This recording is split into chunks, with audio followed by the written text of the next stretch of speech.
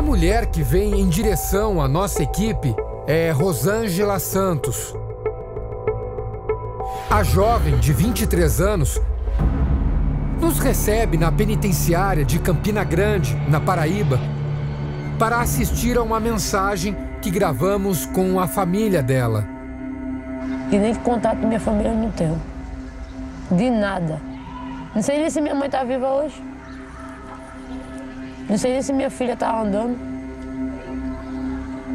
Não sei de nada. E sua tia, sei, sua irmã?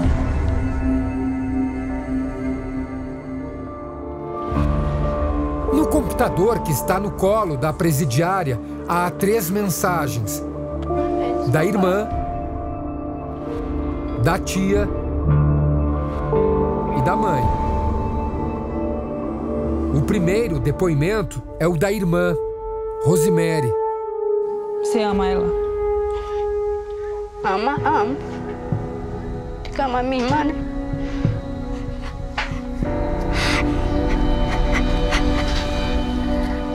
Eu também amo muito ela. Rosângela fica muito emocionada. Que ela seja a pessoa que era ela, antigamente. As pernas tremem dia vocês possam conviver novamente? e as lágrimas não param de cair. Nunca imaginei que, que ela ia dizer que, que me amava. Se você pudesse falar alguma coisa pra ela agora, Rosemary, o que é que você falaria? que eu falaria? Ah, eu gosto dela. Ela, o que ela fez com meu pai, mas ela é minha irmã. Eu amo ela. Tudo que ela fez, mas eu gosto dela. A jovem presa chora ainda mais. A minha família todinha sempre amei. Só que meu pai, o que ele fez comigo, acabou com a minha vida. E todo mundo passava a mão. Eu tinha que ficar calado e O que é que você deseja pra ela agora? Eu digo pra ela que ela mude. Que ela seja a pessoa que era ela, antigamente. A emoção é tão grande que, ao assistir a mensagem, Rosângela responde como se tivesse ao lado da irmã. que ela mude. Mudar pra quê? Não tem mais como, como voltar atrás, não. Em poucos instantes, o clima ficará ainda mais emocionante. Pois assistir às mensagens da mãe e da tia será um desafio para ela.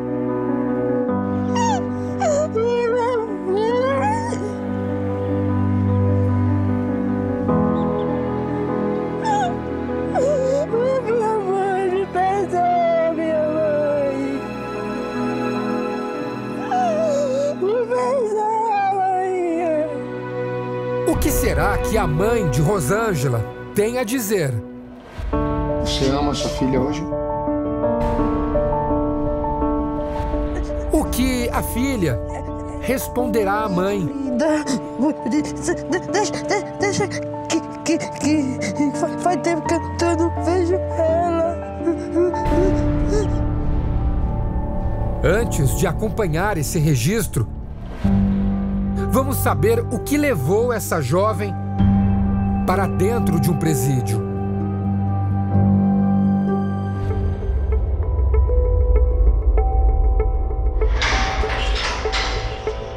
A nova conversa com Rosângela é em outro dia.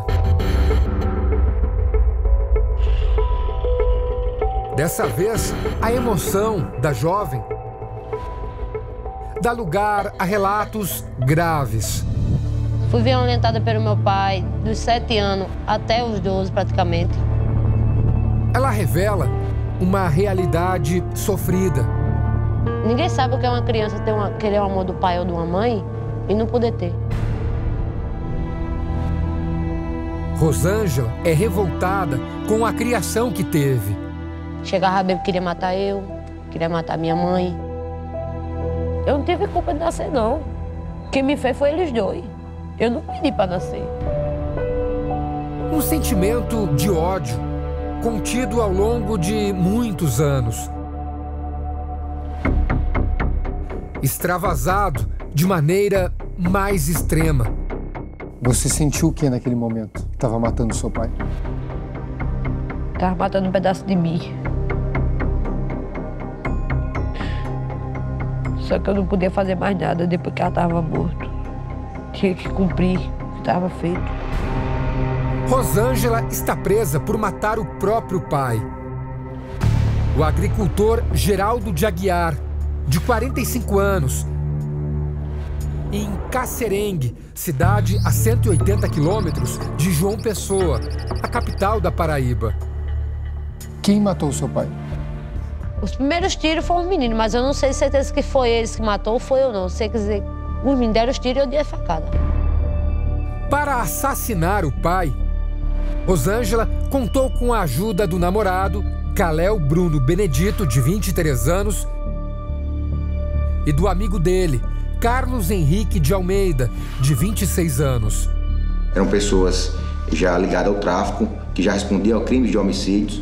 Então, eram pessoas, digamos, profissionais do crime, que já eram contratadas para esse tipo de serviço, né, de pistolagem. Então, ela contava com essa é, disposição de seu, do seu companheiro.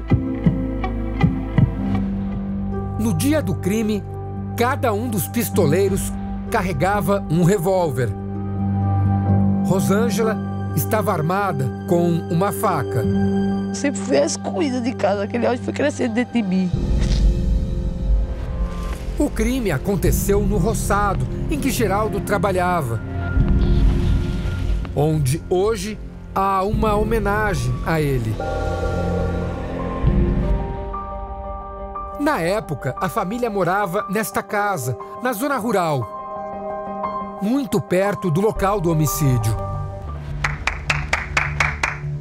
Atualmente, a residência está vazia.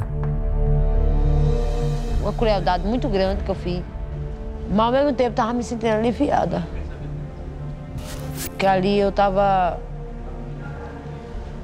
tirando uma coisa ruim de mim. Mas eu só senti naquele momento.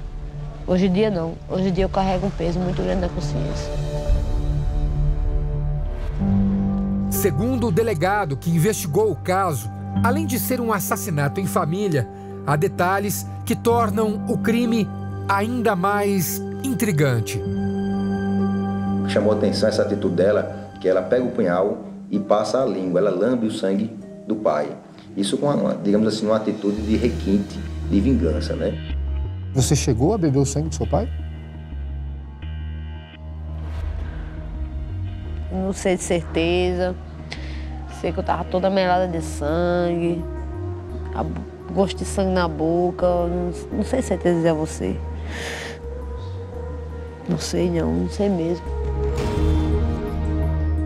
Rosângela confessa a motivação.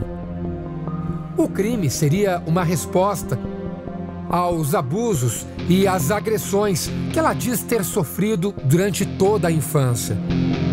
Você achava que matando seu pai ia acontecer o quê? Eu achava que se eu matasse ele, aquele terror da minha vida ia acabar. Eu ia poder ver feliz com a minha mãe, ia poder ter uma família.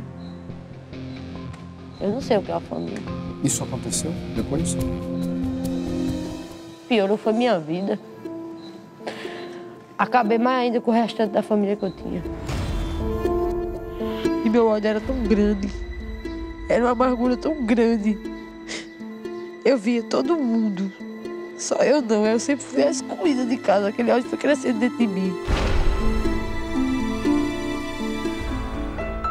Longe da penitenciária, Marluce, tia de Rosângela, confirma o trauma da sobrinha.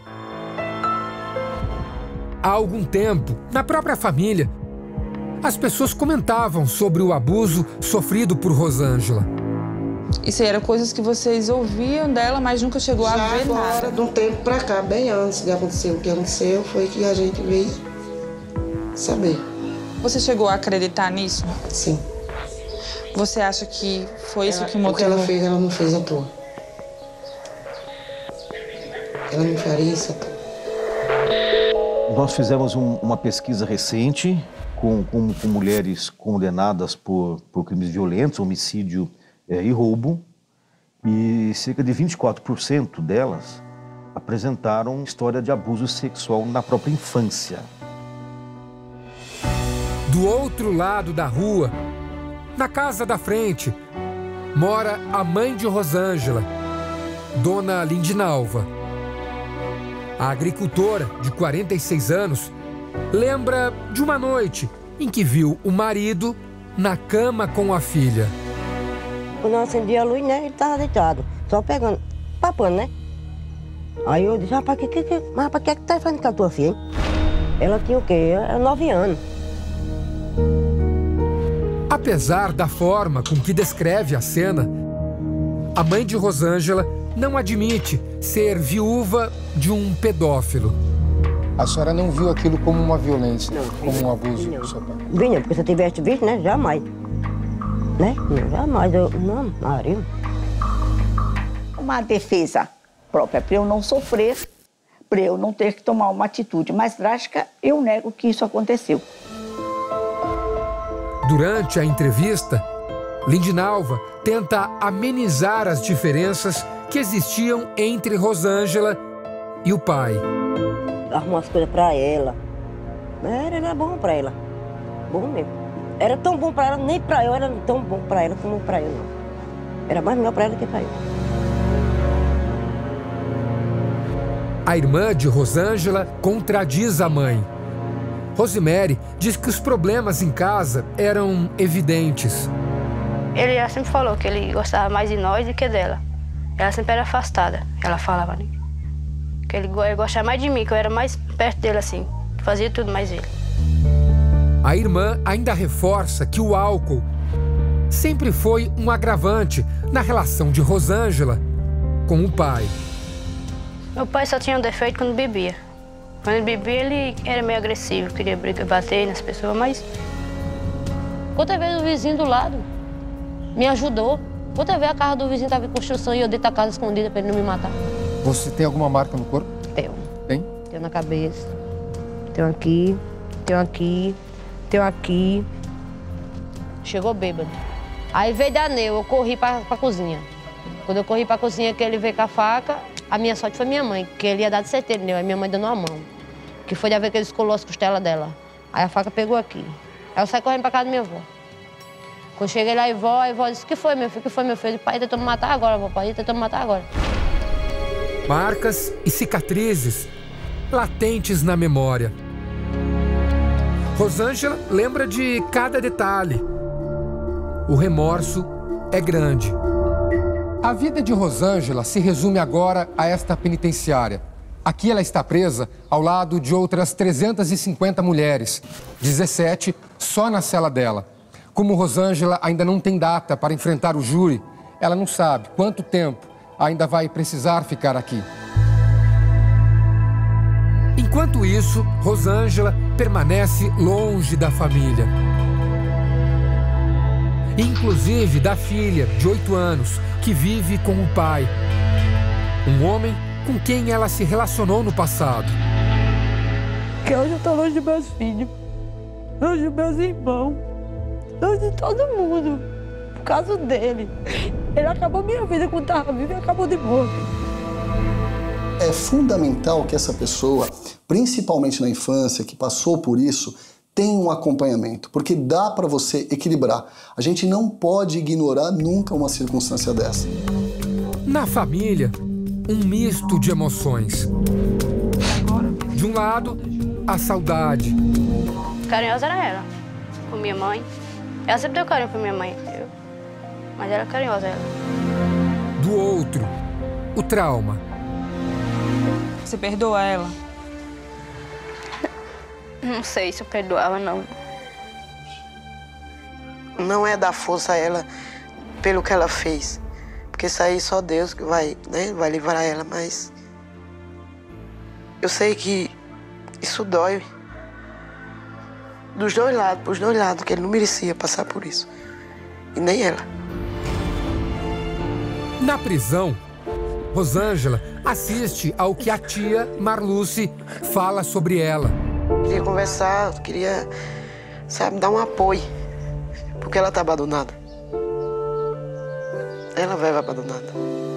A senhora lembra dela com carinho, sente carinho por Sim. ela. Sim. Eu não, não, não julgo. Quem sou eu pra julgar ninguém, né? Só nunca me julgou, tia. Só nunca me julgou. Nossa equipe percebe que Rosângela está prestes a passar mal. Tiramos o computador e entregamos um copo de água na tentativa de acalmá-la.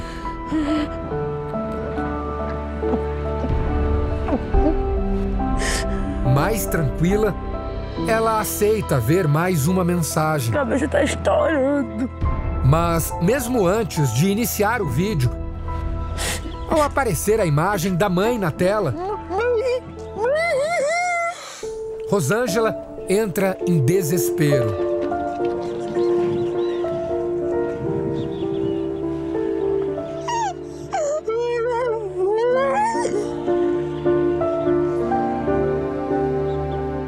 O que, que a senhora sente pela sua filha? Rapaz, o que eu sinto por ela é que. Que ela seja. Reconheça o erro que ela fez, né? Porque não é, não é fácil, não. Hoje eu tô aqui tão longe da senhora.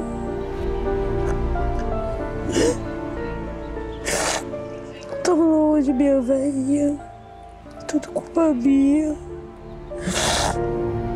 A parte que mais emociona Rosângela é quando a mãe responde se ama ou não a filha. Você ama a sua filha hoje? Não assim, né? Do que ela fez, né? Eu não posso dizer assim, amo de, de coração. Só que eu sinto. que Eu sou mãe. Mas o que ela fez é muito louco. Minha mãe não.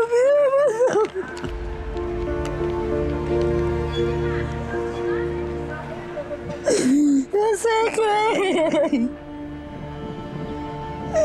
Mas a senhora sabe, minha mãe. No final, a jovem que assassinou o pai e perdeu o contato com todo o resto da família pede apenas que a mãe a perdoe. Mas só o que eu queria era que a senhora me perdoasse mesmo. Só queria isso, mais nada na minha vida.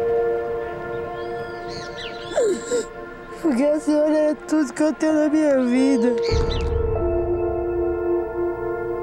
A senhora perdoaria sua filha se ela pedisse perdão? Perdoaria. Pelo vídeo, o perdão chega.